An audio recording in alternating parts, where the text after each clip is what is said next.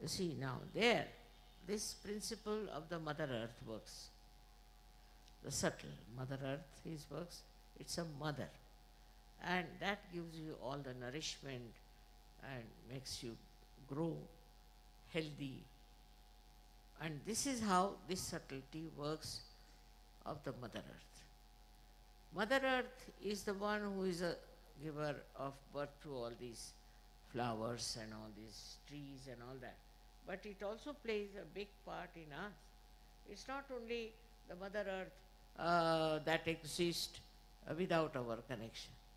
And we do not respect the Mother Earth. We have polluted it, we have done all kinds of things, we have removed the trees and we have made a mess out of her, but she is our mother.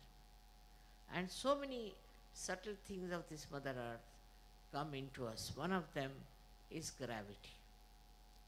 A person becomes very attractive, not in the physical sense, but in the spiritual sense. Such a person attracts others.